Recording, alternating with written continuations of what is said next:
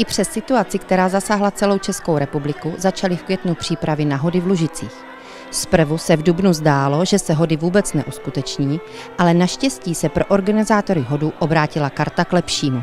Hody v Lužicích bývají jako první na podluží. Tradičně se zde koná předhodové zpívání u cymbálu a ani letos tomu nebylo jinak. To zahájili lužičtí mužáci, cymbálová muzika dur, ale i vodní skauti. Dneska jste přišli na předhodový večer v našich tradičních cyrilometrických hodech, které jsou letos díky všem okolnostem, které jsou všem známy, trošku provizorní, trošku improvizujeme, ale předhodový večer jsme přesto tady v areálu Lidového domu zorganizovali, byť v nějaké omezené podobě, to znamená, vystoupili tady letos mužáci v několika vstupech a chtěli jsme předvést naše mládí, naše děti, takže vystoupili tady vodní skauti, oddíl vodních skautů, který se taky trošku zabírá i folklorem, takže měli tady vystoupení Komáři se ženili. Teď zrovna na podium slyšíme tady dětskou cimalovou muziku z Lužic, která není jenom z Lužic, protože tam jsou tam děti z okolních obcí, ale jsme rádi, že i ty děti mohly po té pauze, která teď byla, že můžou vystoupit a jsme za to rádi.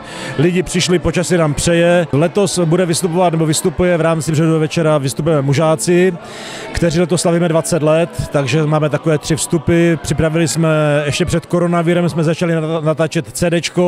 Chtěli jsme ho tady dneska pokřtít, ale není ještě hotové, protože eh, okolnosti jara tohoto roku nám to neumožnili. Díky opravám kulturního domu se předhodové zpívání u cymbálu uskutečnilo ve venkovním areále Lidového domu. Sokol jako investor začal rekonstruovat za nějaké dotace a za výrazného přispění obce, které Sokolovna patří a termín je daný, my musíme mít Sokolovnu zrekonstruovanou do konce tohoto roku, protože tak hovoří dotační podmínky a věřím, že v prvních měsících roku příštího Sokolovnu slavnostně otevřeme a proběhne tradiční ložická plesová sezona už v nové zrekonstruované Sokolovně, na což se všichni skutečně těšíme. Vy jste moderátorkou dnešního odpoledne, dnešního večera. Co tady viděli návštěvníci, co tady bylo za program?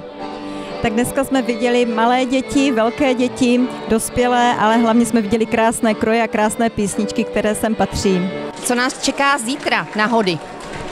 Tak zítra to bude taky trošku netradiční, protože budeme mít hody jenom jeden den. Dneska je to beseda u cymbálu a zítra je to hodová neděle, kdy budeme, eh, půjdeme v kroji jak svobodní, tak i mužáci a vdané ženy, všechny děti, všichni, kdo mají doma kroje, tak můžou přijít. Tradiční hody pokračovaly v neděli mší svatou, hodovým průvodem celou obcí, až ke stárkům a následně zpět do areálu Lidového domu. Součástí celého dění byly děti z folklorního krůžku Lužice, které dlouhé léta vede Ivana Šimčíková. Lužice jsou pro mě vyloženě srdeční záležitost, protože jsem zde převzala dětskou cymbálovou muziku, kterou vedu již 11 let. To znamená, Barkery, eh, muzikant už odrostl, ale zaplať pámbu pořád se hlásí nový. A jak jste mohli dneska vidět, tak Děti to dělají s láskou a mají zároveň i velkou podporu rodičů. Děti museli v době koronaviru pilně cvičit, hrát a trénovat pod dozorem rodičů. Jak se připravili děti na vystoupení, zhodnotila jejich vedoucí. My jsme absolvovali ještě čtyření soustředění ve Břecovicích, odkud jsme se vrátili v neděli, aby jsme to teda jakože podpořili a dobře nacvičili, protože prázdniny jsou dlouhé a musím říct, že děti nesklamali, hráli s radostí, cvičili jsme ráno, odpoledne, večer a já myslím, že snad na tom výsledku to bylo i vidět. Děti z národopisného souboru Lužičánek můžete vidět na různých akcích. Rádi ve svých podlužáckých krojích vystupují nejen v okolních obcích.